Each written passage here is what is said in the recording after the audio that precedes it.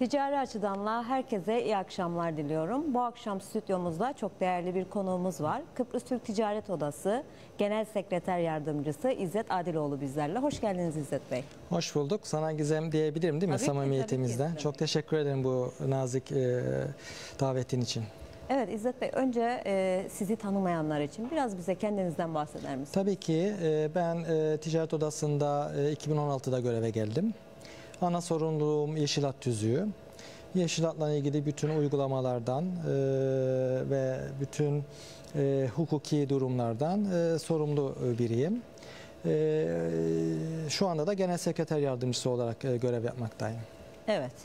Peki Kıbrıs Türk Ticaret Odası e, birçok konuda ülke ekonomisine katkı sağlıyor.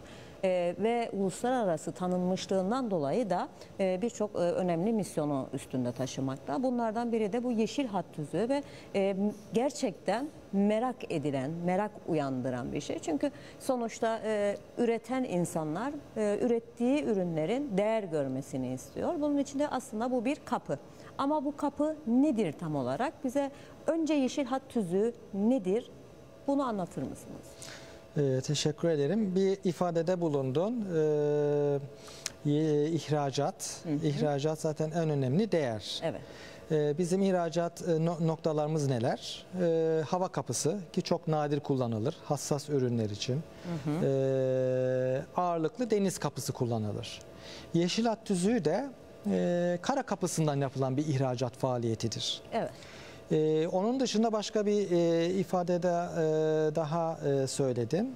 E, o da e, bu e, ticaret, e, ticaret odasının tanınırlığı.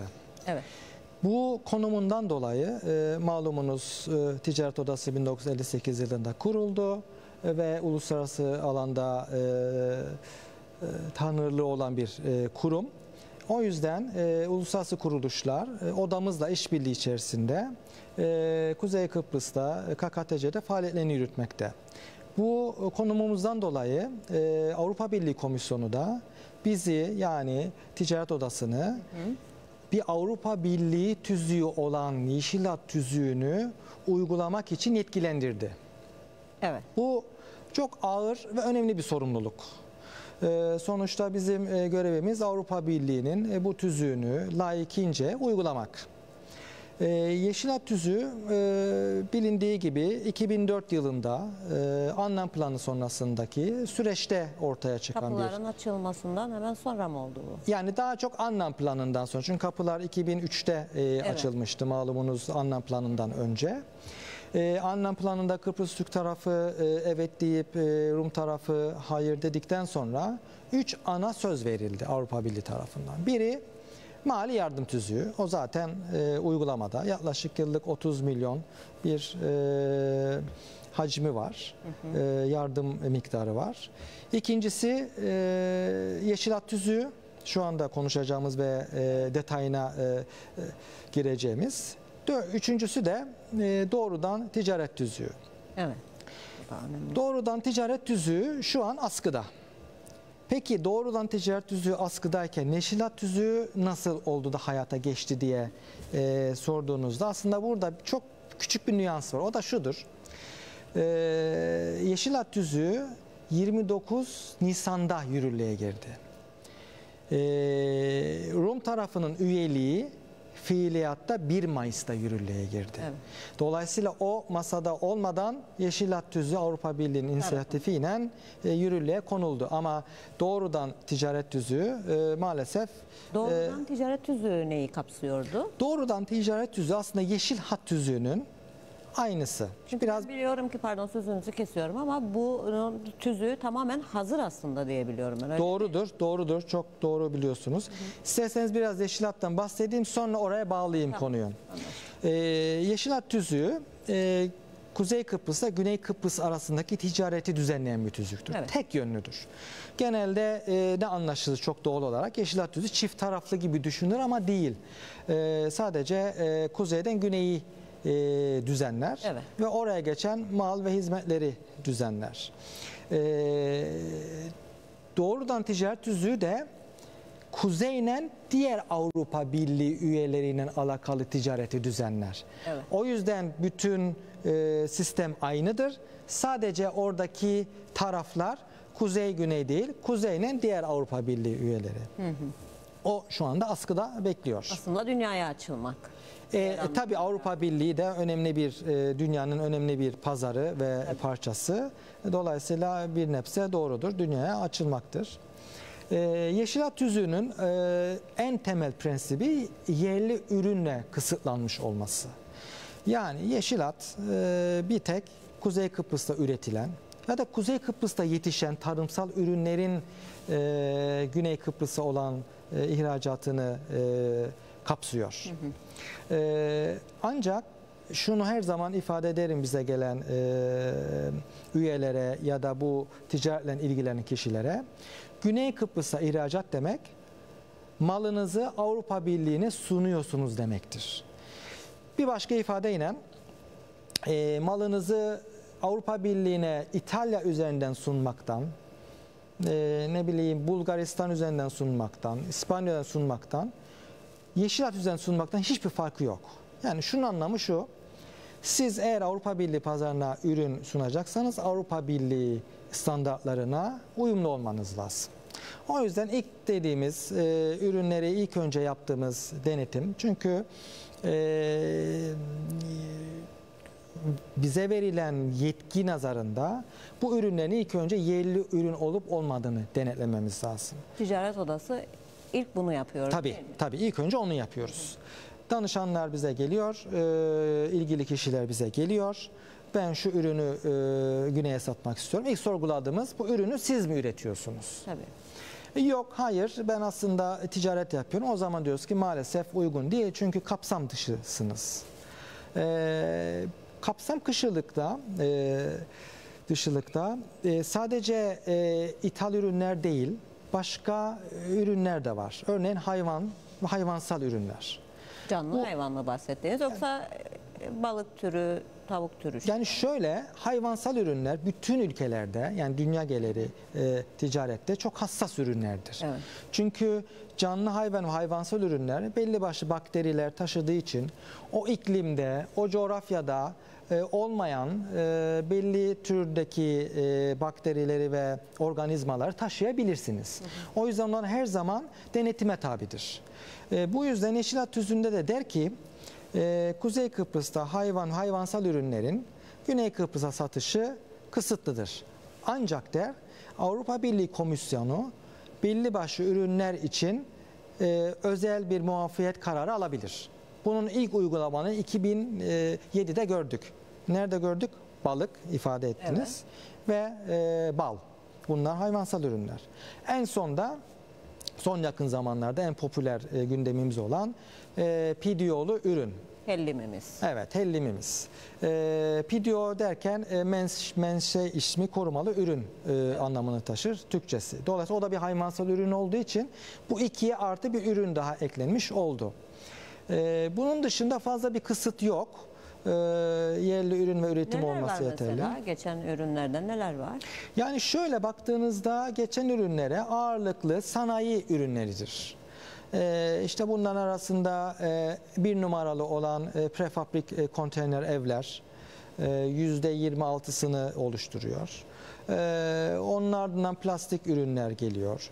İnşaat ürünleri geliyor. İnşaat Hı. İzzet Bey burada şimdi kafama takılan bir şey oldu. Tabii ki. Dediniz ki KKTC'de üretilmesi Evet. gerekir bunun.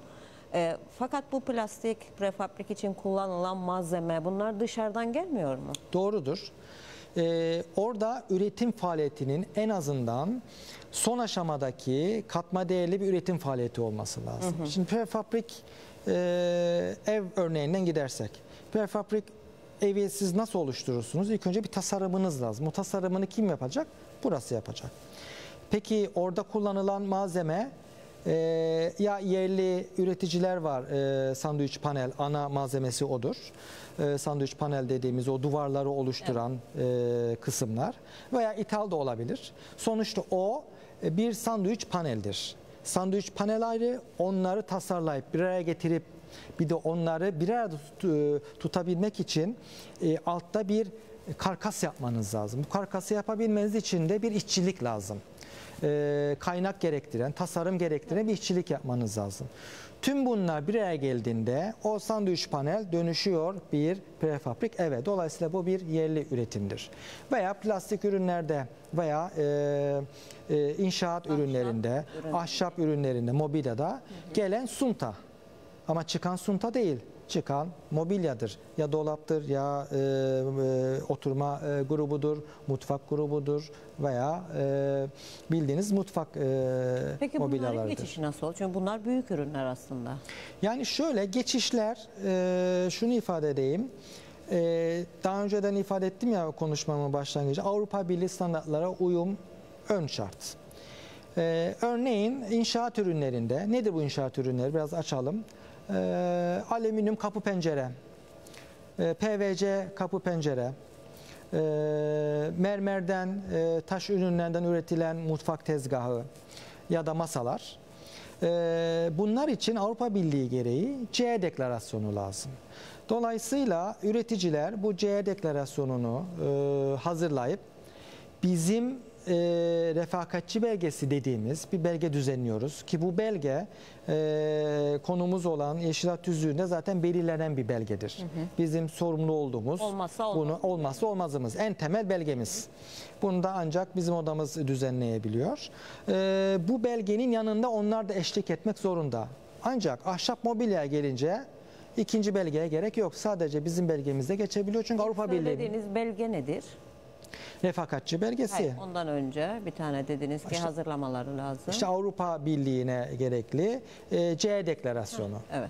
CE deklarasyonu e, en temel e, Avrupa Birliği normlarına uyumluluğu belgeleyen bir belgedir. Onu nasıl alabilir? Onu şöyle, şimdi CE çok geniş bir kavram. Bazen karıştırırlar CE kalite midir, değil midir? Aslında CE kalite değil. CE'nin ana fikri kullanıcıyı e, korumaya yöneliktir. Yani tüketiciyi korumaya yöneliktir. Örneğin bir makinede e, e, sanayide kullanılan bir makinede der ki CE standardı her yerde dört köşesinde bir acil butonu olması lazım ki bir aksilik olsa hemen bas- basılıp insanı koruyabilsin. İnşaat ürünlerinde de CE deklarasyonu lazım. Yani beyan edecek ki üretici benim ürettiğim e, masa, e, fayans, e, mermerden ürettiğim e, başka bir e, ürünler e, insan kullanımına ve inşaatta insan sağlığını tehdit etmeyecek düzeydedir.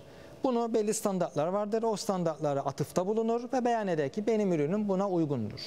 Bunun için de Avrupa Birliği'nden mi kontrole gelinir? Yok, hayır. O ayrı bir konu. Onu biraz sonra e, açacağım.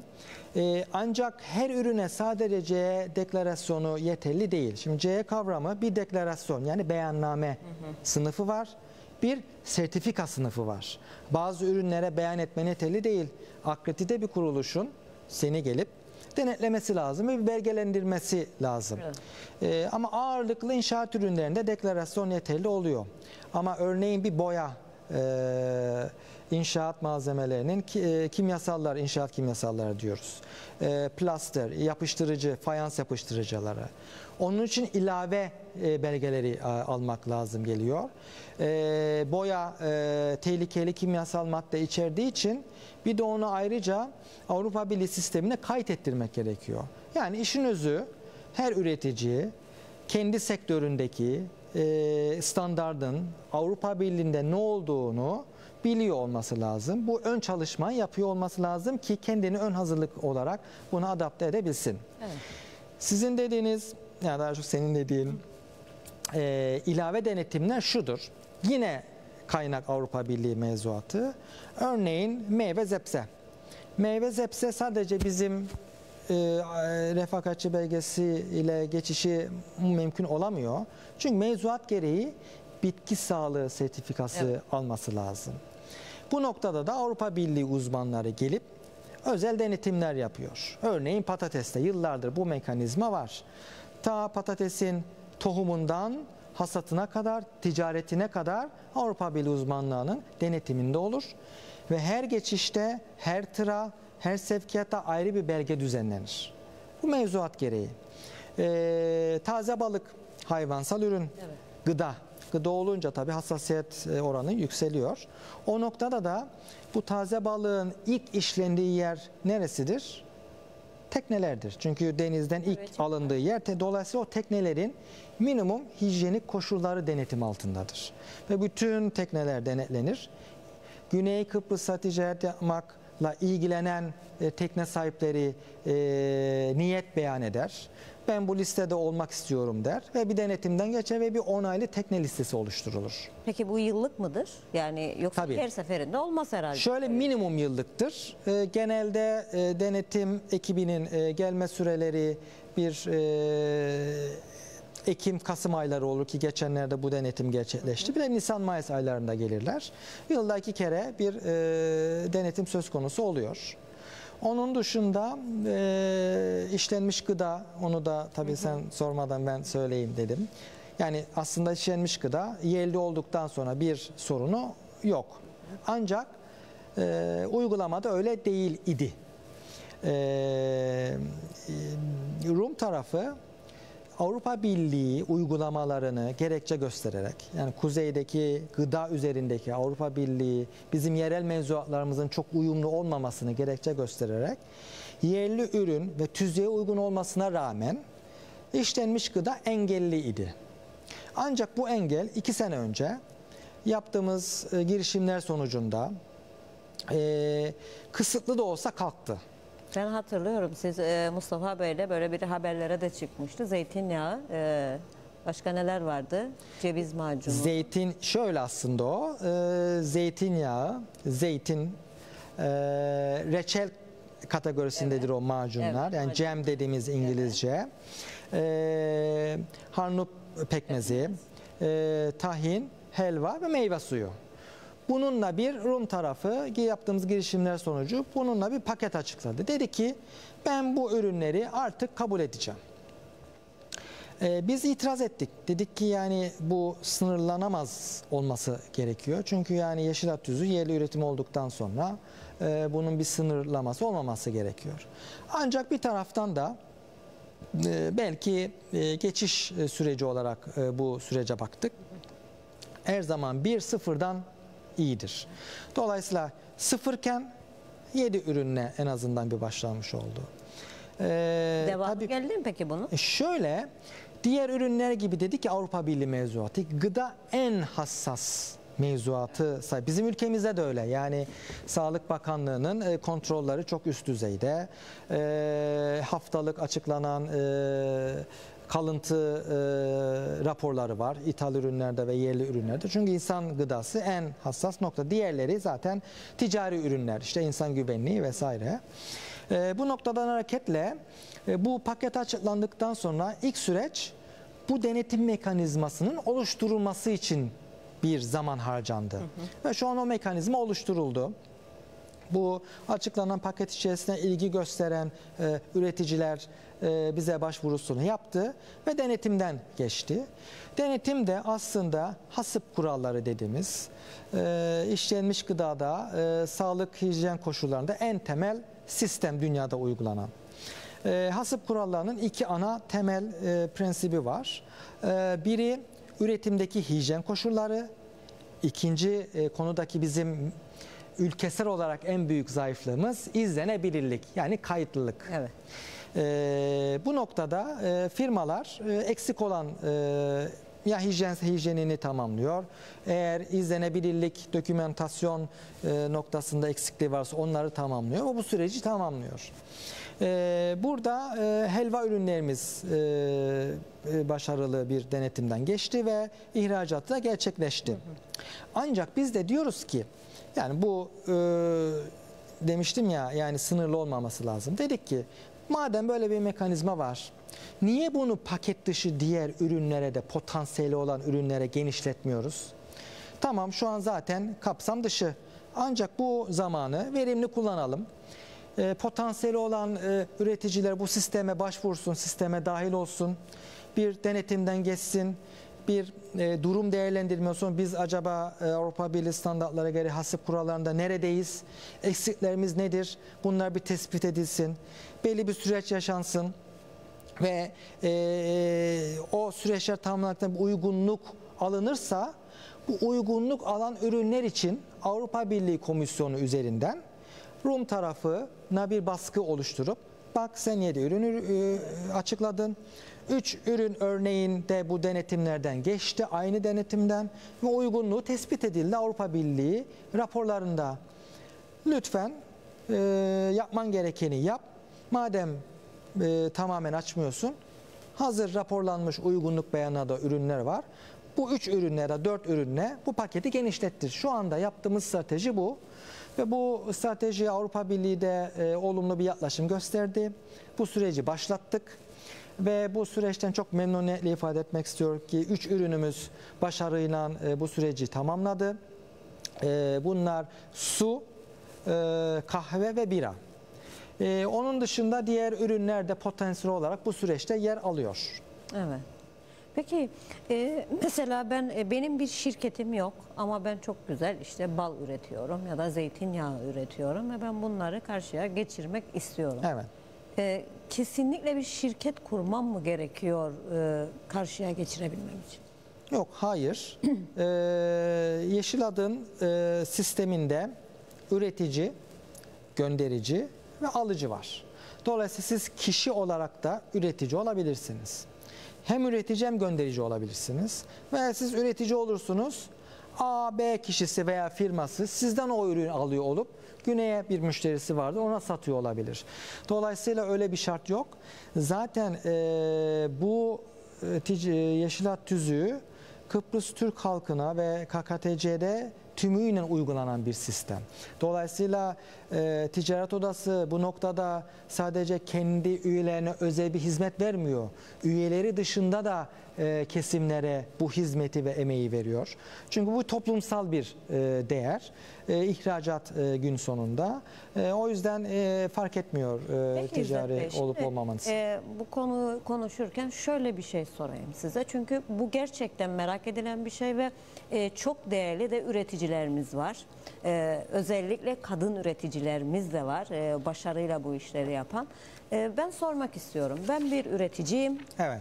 ve bir ürünüm var. Ve ben ticaret odasına geldim. Dedim ki İzzet Bey bana lütfen yardımcı olun. Ben bu ürünümü güneye geçirmek istiyorum. Evet. Bir de aklımda şöyle bir soru var. Tamam güneye geçirmek istiyorum ama geçirip de orada mı bırakacağım ürünlerimi? Ürünler nereye gidecek? Onu da mı ben ayarlamak zorundayım? Yoksa ticaret odası bu konuda bir e, yardım, bir bağlantı sağlayabiliyor mu?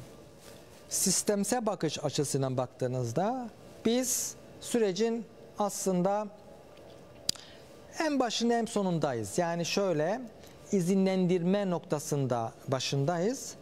Ancak dediğiniz e, satış noktasında e, son aşamasındayız. Çünkü bize başvuran yani e, ürünüm uygun mu aşamasına geçip uygunluğu verdikten sonra ee, bu refakatçi belgesi dediğimiz asıl kapıda ihtiyaç duyan ürünlere refakat edecek belgeyi alma aşamasına zaten bir alıcınız olması lazım ki bize bu e, başvuru yapabilirsiniz. O noktada e, bize zaten e, alıcı e, alıcıyla birlikte geliyor e, satıcılar. E, ancak e, ifade ettiğiniz gibi e, bazı başvuran firmalar üretimi uygun ancak bir kanalı yok, bir teması yok. Güney Kıbrıs pazarında bir herhangi bir girişim yok. Burada ticaret odasının e, yönlendirmeleri değerli oluyor. Ee, bu ihtiyaçtan e, dolayı e, belli başlı e, danışman firmalarına yönlendiriyoruz. E, güneydeki e, Kıbrıs ve Ticaret Odası diye adlandırılan oranın e, ticaret odasıyla ilişkilerimiz çok iyi düzeyde. Oradan destek alabiliyoruz. Bir de son zamanlarda e, Avrupa Birliği'nin bu Yeşil Hat Tüzüğü kapsamında yapılan ticaretin e, hacminin e, arttırılmasına yönelik olarak bir e, tek durak ofisi denen bir proje başlattı. 18 aylık bir proje. E, tek durak ofisinin e, ana amacı ilk önce e, güneyde e, Yeşil Hat Tüzüğü kapsamından ticaret yapabileceğini farkındalığını arttırmak. E, bu amaca doğru orantılı olarak bu ofis güneyde kuruldu. Hem e, Kıbrıs'ı Türk hem Türk Kıbrıs'ı Rumları barındıran bir yapısı var.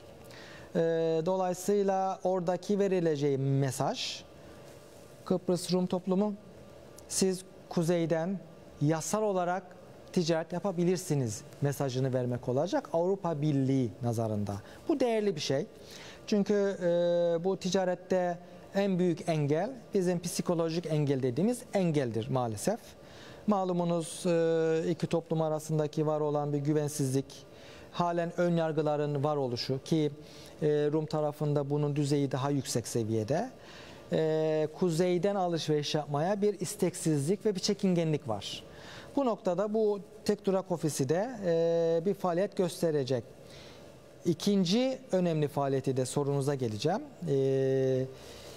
İki tarafı da eşleştirebilecek bir pazar araştırması faaliyeti yapmak. Hı, ben de bunu soracağım. Evet o yüzden bu tek durak evet. ofisini gündeme getirdim. Ee, bu tek durak ofisi bizim bu e, konuya e, nazaran e, sürekli Avrupa Birliği seviyesinde yaptığımız e, konuşmalardan, görüşmelerden ortaya çıkan bir e, sonuç. E, zaten da gerekirdi zaten. Bu tek durak ofisinin e, yürütücü ve e, danışman e, kurulunda e, ticaret odası ve Güney'in ticaret odası yer alıyor. E, gerekli yönlendirme yapabilsin diye. Bu noktada ana hedef tabii bu çok yeni bir e, proje. Yeni başladı faaliyete girdi. Geçen ay bunun lansmanı yapıldı. E, oradaki ana hedef alıcı heyetleri düzenleyip kuzeye ziyaret yapıp potansiyel üreticilerine bir araya getirtmek. Evet. Tabii ticaret her zaman iki taraflıdır. Tek taraflı olmaz. Her ne kadar Yeşil Hat Düzü tek taraflı bir düzenleme içerse de güneydeki e, e, motivasyonu da arttırmak üzere çift taraflı olarak eğer çünkü belli başlı ihtiyaçlar var. Biz de e, güneyden mal e, alıyoruz. ithalatımız evet. var. Bunları da arttırmaya yönelik aynı modelle alım heyetleri noktasında bir hedefler söz konusu. Ee, tek durak ofisinden bahsetmişken diğer fonksiyonlara da bahsetmek önemli. İki diğer e, fonksiyonu daha var.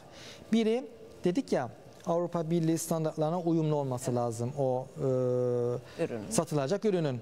Bu noktada biz ilk aşamada belli bir e, bilgi paylaşımında e, bulunabiliyoruz. Ancak belli bir noktadan sonra işi uzmanlık aşamasına gelince tek durak ofisi o noktada bize destek olacak. Evet. Zaten onun varlığı odalara Yeşil Hat Düzlüğü kapsamındaki faaliyetlerine destek olmaktır zaten. E, o noktada bir desteğimiz olacak. E, son noktası da e, hiçbir e, şey ya da şöyle ifade edeyim hiçbir yer dikensiz gül bahçesi değil. İhracat bir gülse onun dikeni illaki olur.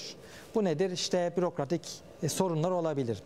Güney'le alakalı bürokratik sorunlar yaşandığında bu, terek, e, bu tek durak ofisi de e, Kıbrıslı Rum çalışanı vasıtasıyla ilgili muhataplarla Avrupa Birliği adına gerekli olan girişimleri yapabilecek. Evet. Dolayısıyla bu ihtiyaç da, bu kaygı da bir nebze yerine getirilmiş olacak. Peki bir de hellimi konuşalım. Hellimimiz ne durumda? Çünkü bir ara oldukça e, gündemdeydi hellim. E, şu aralar pek e, bir e, ses yok. Ne durumdayız? Şöyle gündemde halen hı hı. ama e, yani, yani işin doğası şey. gereği evet. bir e, unsur ilk defa bir e, bilgisi paylaşılınca, e, açıklanınca bir heyecan yaratır. Dolayısıyla evet. gündemde aslında var ama şu an kamuoyunda çok e, bir ilgi yok. E, ne demiştik? Hayvan, hayvansal ürünler aslında sınırlı. Evet. Özel bir karar lazım. İşte hellim de bu iki ürüne yani ne demiştik? E, balık ve bala ilave üçüncü ürün olarak eklendi komisyon kararıyla. Ee, çok özellikli bir ürün hellim. Ee, Pidiolu menşe ismi korumalı bir e, e, statü aldı. Ee, orada iki aşamalı bir durumumuz var. Biri ilk önce üreticiler Yeşilat üzerinden e, güneye satmak isterse ve güney üzerinden Avrupa Birliği'ne satmak isterse ön şart tabii ki bu PDO sertifikasını alabilmesi. E, PDO dediğimiz unsur aslında sadece hellimi o PDO şartında menşe ismi korumalı ürün şartında yer alan formüle göre üretiyor mu üretmiyor mu denetimidir. Bu da süt müdür aslında? Sütün hani şu işte keçi sütü bu kadar olacak, koyun sütü bu kadar olacak. olan- Aynen öyle. Aynen öyle. Süt karışımı işte e, işte yarım saat 90 derecede e, pişirilmesi e, belli bir işte nane içermesi gibi formülasyon. E, bununla birlikte sadece imalatçı ayağından bu kalmıyor. E, bu sistem içerisinde o imalatçının hellimi üretmekte kullandığı sütü tedarik ettiği çiftlikler de bu sefer sisteme dahil olmuş oluyor. Tabii, eğer kendinin değilse. Tabii. Dolayısıyla o çiftlikler de sisteme dahil olmuş oluyor. Şu anda 15 çiftliğimiz e, bu sisteme dahil e, denetimlere e, girdi. E, sırayla sertifikalarını alıyorlar. E, ve e, şu an e, iki firmamız sertifikayı almayı başardı. E, üçüncü firmamız da denetimden geçti. Ee, küçük uyumsuzluklarla hem büyük uyumsuzluk hem küçük uyumsuzluklar söz konusu oluyor. Küçük uyumsuzluklar işin aslına değil de e, kağıt üzerindeki uyumsuzluktur. E, işte şu belgeniz olması lazım. Şunu bir şöyle düzeltmeniz lazım diye. E, üçüncü firmamız da e, bir ay içerisinde e, bu sertifikayı alacak ve e, üç firmamız sertifikayız olacak. Peki sertifikayız oldu. Yeşil hattan geçebilir mi? Hayır. Maalesef. Çünkü dedik ya yeşil hat tüzüğü ayrı bir boyut. O sadece işin formülasyonuyla alakalı. Zaten tamam ne işimize yaradı öyleyse bu? şöyle yaradı.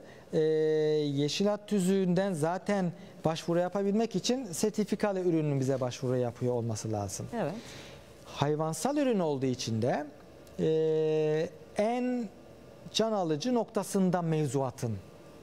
Bu yüzden e, ön şartları var e, yeşil hat tüzüğünden geçebilmesi için bu hellemin. İki tane ülkesel ön şartı var. Biri hayvan hastalıkları statüsü ön şartı. İkincisi de kalıntı izleme programı. Ee, şu anda bütün çalışmalar hem Avrupa Birliği'nin burada yer almış olduğu e, çeşitli projeler var. Nedir bu projeler örneğin? Ee, gıda güvenliği projesi, ee, tarımsal danışmanlık projesi ki geçenlerde o proje sonlandı. Yani doğası gereği süresi bitti. Bütün projeler hep bu hellime yöneliktir. Ve bununla birlikte en önemli paydaşlar Tarım ve Doğal Kaynaklar Bakanlığı, onun içinde yer alan Veteriner Dairesi, Hayvancılık Dairesi, bütün birimler eşgüdüm içerisinde e, bu iki ön şartı sağlamak için e, emek veriyor. Ne demiştik? Hayvan sağlığı statüsü. Şu anda hayvan sağlığı statüsü alabilmemiz için e, son aşamadayız. Beklentimiz yeni yılla birlikte, yeni yılın ilk döneminde bu hayvan sağlığı statüsü almak. Nedir bu hayvan sağlığı statüsü? Sizin ülkesel anlamda hayvan sağlığında yüzde sıfırı yakaladığınız demektir. Yüzde sıfırı yakaladığınız andan itibaren bu yüzde yüz- yüzde sıfır bir şekilde tescil edilmesi lazım. Ülke genelinde. Yok uluslararası e, alanda. Şimdi malumunuz e, tanınma noktasında e, bir izolasyonlara uğradığımız için e, normal şartlar altında her ülke Dünya Sağlık Örgütü'yle bu e, bağlantıyı kurar ve her ülke hayvan sağlık statüsünü sağlık e, Dünya Sağlık Örgütü'ne e, beyan eder ve Dünya Sağlık Örgütü de ilan eder ki e, Bulgaristan hayvan sağlık statüsü vardır. Yani e, aridir. Evet. Sahası aridir. Biz bunu yapamadığımız için bunu Avrupa Birliği üzerinden yapıyor olacağız. E, o yüzden e, ilk aşama bu. İkinci aşama da e, kalıntı izleme programı. Nedir kalıntı izleme programı? O da şudur. E, işte doğa öyle bir şeydir ki bazen genel anlamda da denir aman şunu yapmayın kanserojendir vesaireleri de işkenlik olur. Şimdi hayvanın yediği yeme kadar süreç gider. Dolayısıyla hayvanda e, beslendiği yemdeki kalıntı varsa eğer kullanılan ilaçlar o süte geçer. Tabii. E, hayvana geçer, süte geçer, sütten ürüne geçer. Dolayısıyla bunun bir program dahilinde izlenebilir olması lazım. Laboratuvar lazım bunun için değil mi? E, Evet, zaten en büyük sıkıntılarımızdan bir tanesi de bu ülkedeki laboratuvar eksikliği. Yani şöyle eksikliği diyelim, e, e, Sağlık Bakanlığı'na bağlı e, devlet laboratuvarı yangından sonra e, belli başlı faaliyetlerini yürütebilmek için veteriner e, dairesi uhdesinde olan e, laboratuvara yerleşmek zorunda kaldı. Şimdi bir laboratuvarında akredite olabilmesi için yaptığı metodun akredite olması yeterli olmuyor. Koşullarının da akredite olması lazım ki o belgelendirmeyi alsın. Ee, bu noktadan hareketle hem veteriner dairesinin uhdesinde olan laboratuvar bu noktada sıkıntı yaşıyor. Hem devlet laboratuvarı kendi binası olmadığı için sıkıntı yaşıyor. Ee, bu noktadan hareketle bu izleme e, işte kalıntı izleme programı nazarında Avrupa Birliği'yle e, projelerimiz ve girişimlerimiz devam ediyor. Bu noktada şöyle bir yol izlenecek.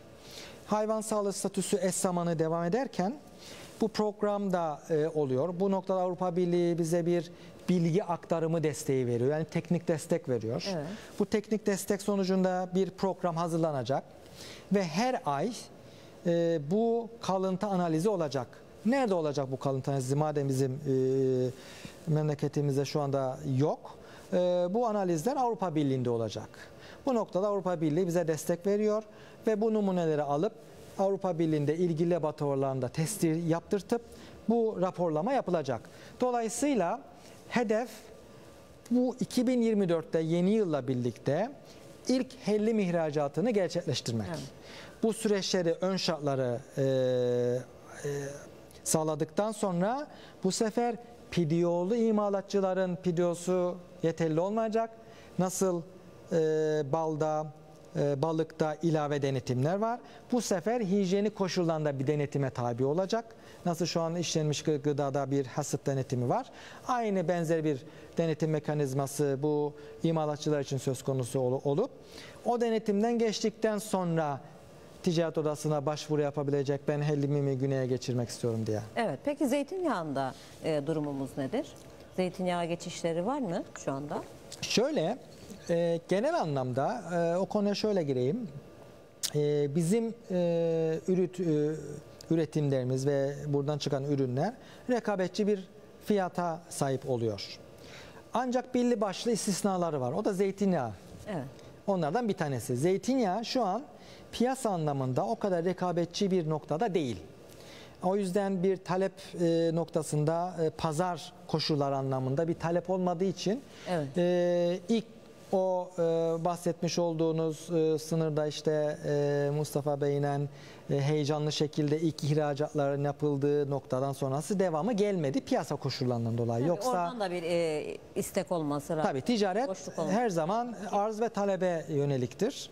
Ee, zeytinyağı bu noktada en e, zorlu ürünlerden bir tanesi ama diğer ürünlerde rekabetçi hem kalitemizle hem o kaliteye yönelik e, fiyat rekabetiyle e, iyi noktadayız. O yüzden zaten bu talep oluşmuş durumda. Peki e, bir de doğrudan ticaret tüzüğü tabii çok e, önemli bir konu aslında ama e, ben ürünümü e, yurt dışına işte herhangi bir ülkeye Avrupa ülkesine nasıl gönderebilirim? Şöyle aslında e, ambargo kelimesini kullanıyoruz ancak benim şahsi fikrim bir ambargo üzerimizde yok. E, burada e, söz konusu olan standartlara uygun e, kaliteli ürünü makul fiyata sunabiliyorsanız bir şekilde alıcısı gelip sizi bulup bunu sevk ettirebiliyor. Örneğin arada bir haberlere çıkar. Narımız bütün olarak Hollanda'ya zamanında satılmış. Nasıl oldu Nasıl satıldı? satıldı peki? Nasıl Demek ki gitti? satılabiliyormuş.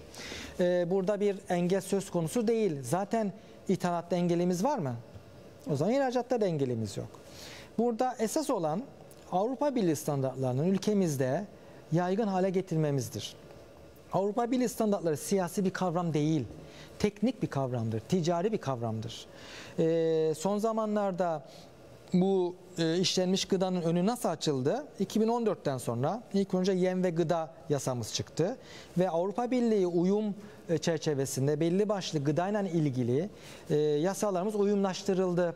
En son gıda hijyen tüzüğüne kadar gelindi.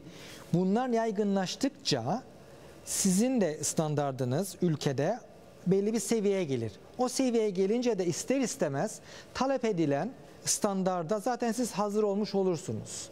Ee, ticaret noktasında e, diğer üçüncü ülkelere yani e, bu işte bu standartları yakaladığınız ve ilgili müşteri bulduktan sonra e, Mausa üzerinden sevkiyatınızı yaptırabiliyorsunuz. Şöyle bir e, koşul var mı? Türkiye üzerinden girmesi gerekir veya güneyden bunu yapabilir miyim? Aslında şöyle o konu. Türkiye üzerinden bizim ihracatlarımız geçiyor. Ama bu illaki Türk olması e, gerekiyor olmasından dolayı değil. Bu bir lojistik meselesi. Yani firmalarımız Avrupa Birliği firmalarıyla temas edebiliyor. Kendi aralarında faturalaşma olabiliyor. Ee, en büyük ihracat kalemimiz süt ürünleri Orta Doğu'ya e, ihracat gerçekleşebiliyor. Ee, firmalar yapabiliyor. Çünkü ticaret e, öyle bir şeydir ki e, akarsu gibidir. Yani önüne taş bile koysanız o bir şekilde akar yerini bulur. Dolayısıyla o tamamen lojistikle alakalı. Bizim ölçeğimiz küçük. Ee, KKTC'nin ölçek sorunu var doğası gereği. Yani ölçek küçük olunca e, özellikle yeşil hattan dolayı, e, işimden dolayı çok e, bana umut veren e, denetimlerim oluyor. Yani genel anlamda ülkede bir e, başka noktalarda e, bir umutsuzluk söz konusu olsa da bazı firmalara gidiyorum. Yani inanılmaz teknoloji ve inanılmaz bir e, standart vizyonuyla öyle güzel işler e, yapılıyor ki ancak ölçekten dolayı 24 saat çalışması gereken makineler sadece bir var diye çalışıyor. Bu da maliyeti arttırıyor. O kadar güzel teknolojik makineler sahip olan üretim kapasitemiz var ki yani pazar olduktan sonra biz o pazarı şu andaki üretim kapasitemizi en az 3 katına çıkarabiliriz. Ee, bu noktadan hareketle e, ihracatta e, standartlara uyum olduktan sonra hiçbir engel yok.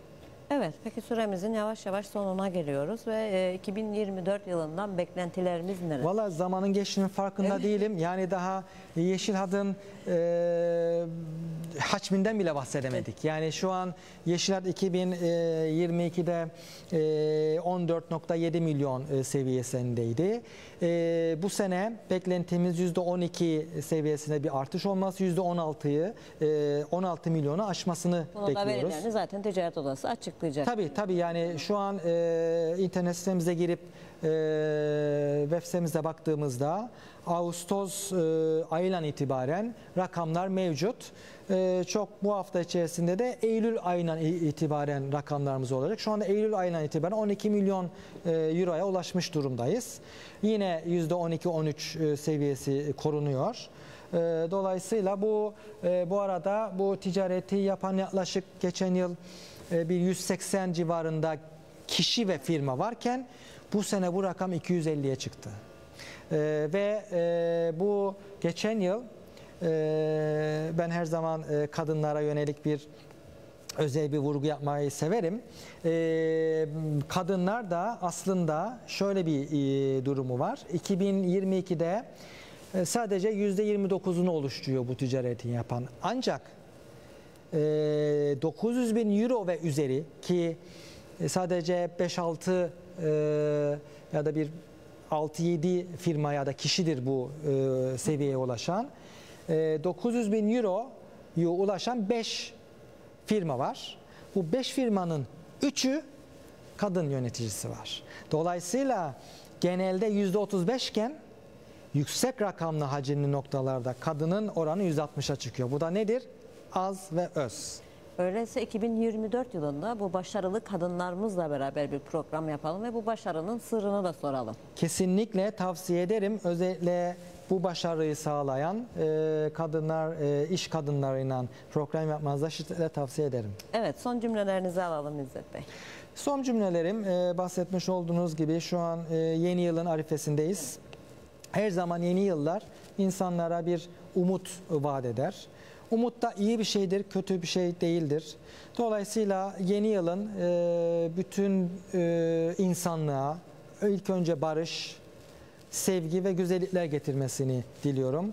Memleketimiz için de e, ticaretin arttığı ve refahın arttığı bir yıl olması umudunu diliyorum. Evet size çok teşekkür ediyorum verdiğiniz bilgiler için. de. Ben teşekkür ederim. Evet bu akşam Kıbrıs Türk Ticaret Odası Genel Sekreter Yardımcısı İzzet Adiloğlu bizlerle beraberdi ve e, bizlere çok değerli bilgiler verdi. Haftaya sizlerle yeniden görüşmek üzere. İyi akşamlar diliyorum.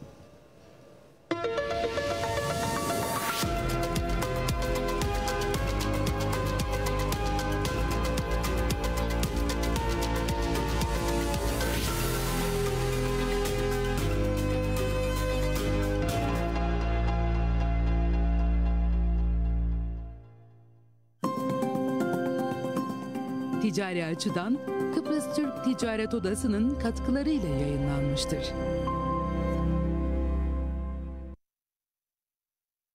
O da 2011'den bu yana